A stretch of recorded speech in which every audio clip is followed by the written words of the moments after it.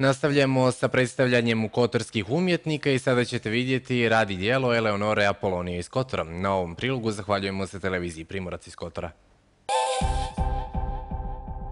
Svojim bokeljskim krajolicima, mandraćima, đardinima, starinskim interijerima, cvijećem, kućama uz more i porodičnim portretima, Eleonora Apolonija vraća nas u vrijeme izgubljene harmonije. Slikarka mediteranskog senzibiliteta, zapisanog u njenom genetskom kodu, prenosi na svojim platnima prizore iz svog intimnog okruženja u kome je našla sigurno utočište. Pa nije rečeno da sam u tom okruženju nalazim sigurnost, vjerojatno bi je našla i u nekom drugom.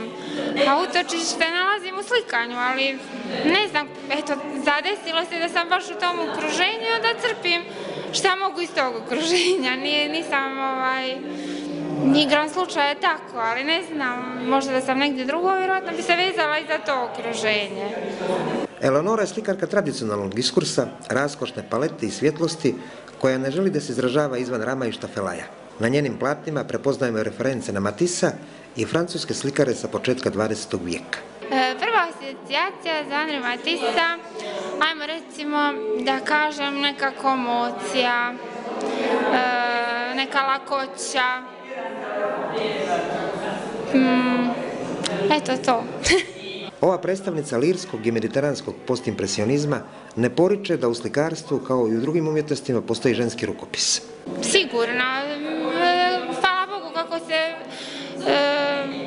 žensko i tijelo razlikuje od muškog, tako se i mentalno žena razlikuje od muškarca, vjerovatno i emotivno i to se svugdje odražava. Eleonora Apolonio završila je Fakultet likovnih umjetnosti na Cetinju u klasi profesora Smaja Karaila. Samostalno je izlagala u Kotoru, Herceg Novom i Splitu.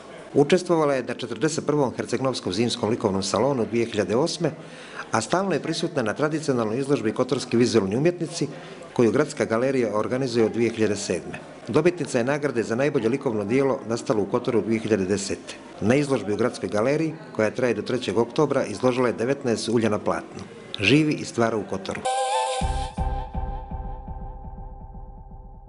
Krećemo sa vijestima iz svijeta, idemo do Muzeja modernih umjetnosti u Njujorku kako bismo vidjeli tamošnju aktualnu postavku.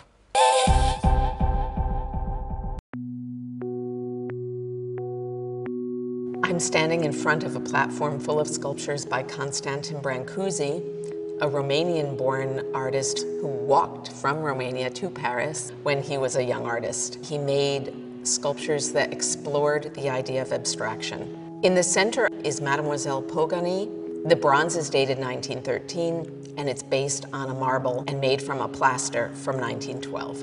It was actually a portrait of a friend of his, Margit Pogani, a young Hungarian woman. When the plaster was on view in 1913 in New York, it became one of the star pieces of the Armory show, not in the sense of being most beloved, but being most ridiculed by the press and by the visitors. Together with Marcel Duchamp's Nude Descending the Staircase, Mademoiselle Pogany was lampooned probably more than any other object there. What was the problem? It had a name. Brancusi was clearly telling the visitors that this was a portrait. This was not a head, it was an egg, is what they said. And Brancusi delineated the hair not by any sculpted forms of curls. She was considered bald. The facial features by the slightest of descriptive lines or incisions were seen as nonsensical.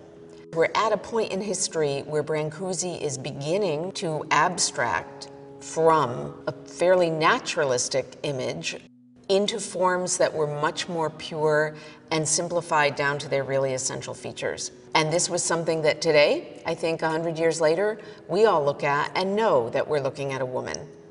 At that time, it was almost incomprehensible that that would be how you could represent somebody's face.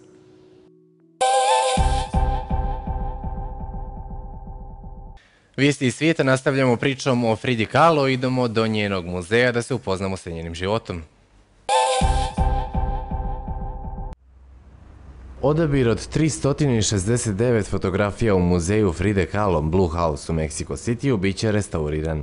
Proces procjene fotografske arhive počeo je 2007. godine. Iste godine kada su dokumenti, slike, lični predmeti, pisma i publikacije izašli na svjetlost dana, nakon što su dugo bili sakriveni u muzeju Blue House i to punih 50 godina.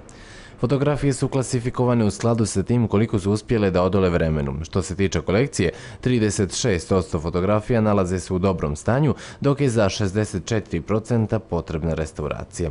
Neke od fotografija napravili su poznati fotografi uključujući Man Rea, Edvarda Westona, Martina Munkaksija, Manuela Alvareza Brava i Nikolasa Muraja. Restaurator Mercedesa Guadom rekla je da će slike otkriti ono što par smatra da je bitno. Cómo, cómo, armaban ellos sus proyectos pictóricos, ¿no? o en qué se basaban, o, o, o qué, imágenes eran más importantes para ellos o más recurrentes.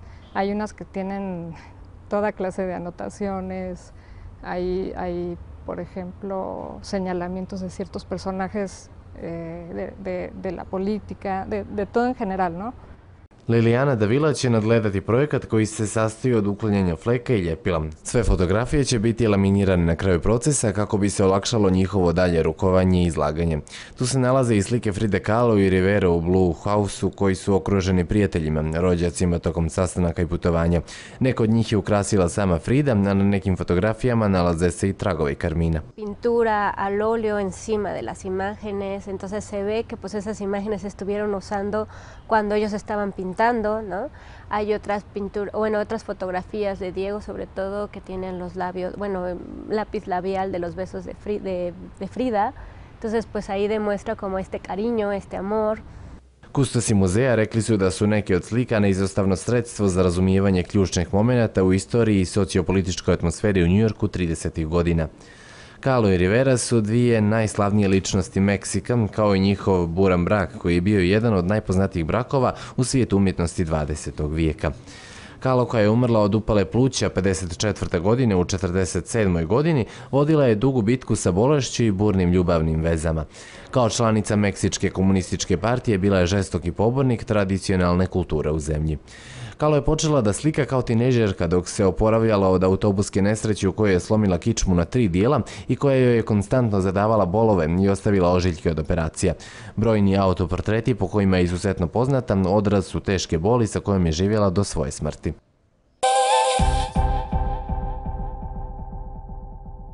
Nastavljamo sa plesom, to jest baletom, idemo do Izraela, sada ćemo da vidimo jednu baletsku predstavu koja je inspirisana holokaustom.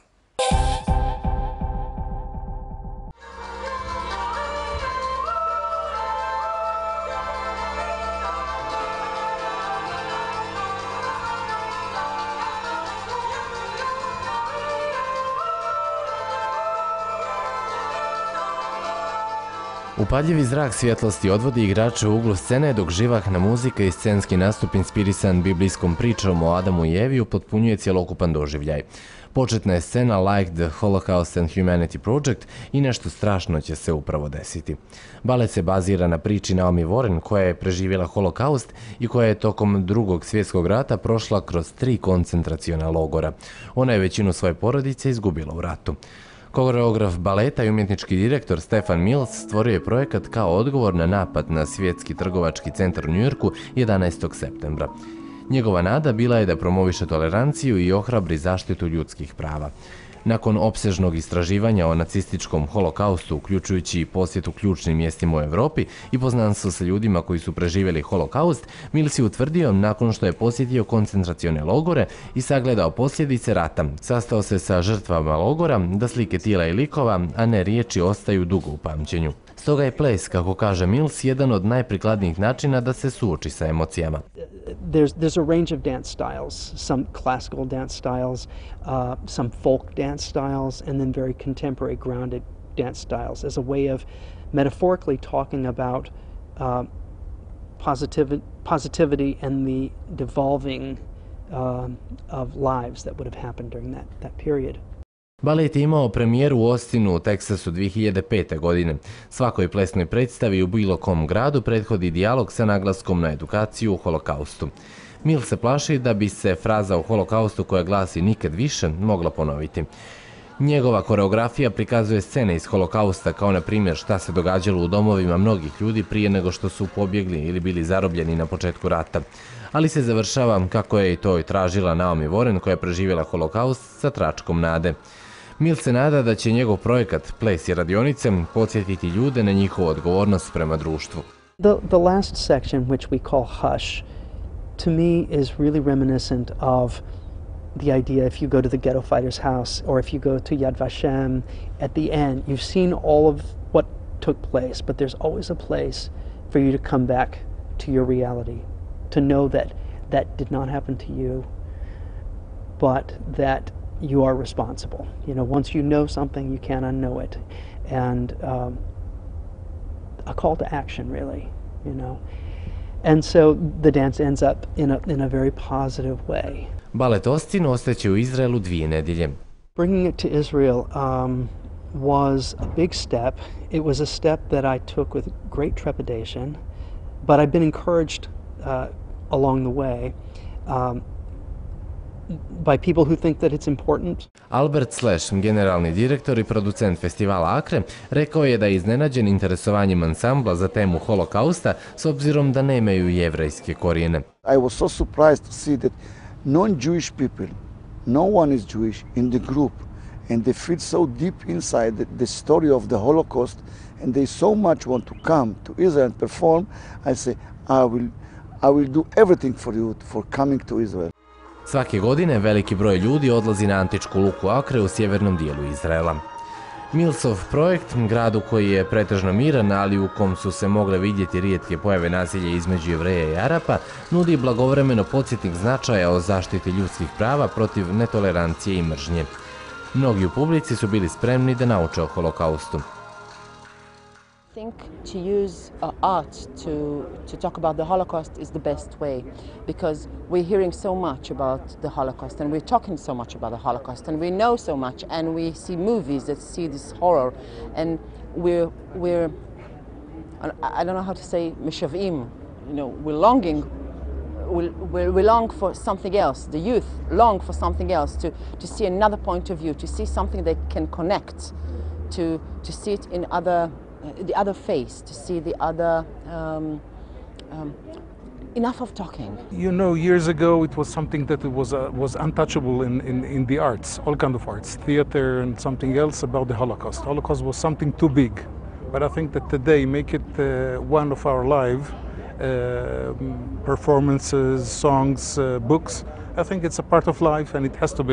Završni nastup baleta održat će se u Beit Ham auditorium gdje se oficiru visokog ranga Adolfu Eichmannu sudilo prije 50 godina. Poštovani gledalci, to je bilo sve što smo spremili za današnji Pop Kvart. Ja ću vas još jednom podsjetiti da je Cineplex naš prijatelj, stoga šaljite poruke na broj 14999. Poruka treba da sadrži samo riječ Pop Kvart. Ukoliko želite da dobijete dvije ulaznice za film po izboru u Podgoriškom Cineplexu koji se nalazi u molu Delta City, a te ulaznice možete iskoristiti do četvrtka. Dvoje koji budu najbrži dobit će po dvije ulaznice, a naša produkcija će vas već jutra kontaktirati da vam objasni kako da podignete vaše ulaznice. Posjećam da vam je interakcija jako bitna, stoga treba da šaljete poruke na 14999, da se javljate putem Facebooka. Ako to činite, lajkujte našu stranicu koja se nalazi na adresi facebook.com kosa crta pop kvarta. Ukoliko se javljate putem Twittera, nakon Twittera ili vaše rečenice stavite hashtag nakon kojeg ćete napisati pop kvart. Ukoliko pak pišete mailove, šaljite ih na adresu milo.radonjić.rtvatlas.tv. Ja ću vam se još jednom zahvaliti na pažnji. Ukoliko ste makar dio svog vremena u proteklih 30 minuta proveli se nama. Vidimo se ponovo za 7 dana, a do tada budite dobri, budite dobro. Prijetno!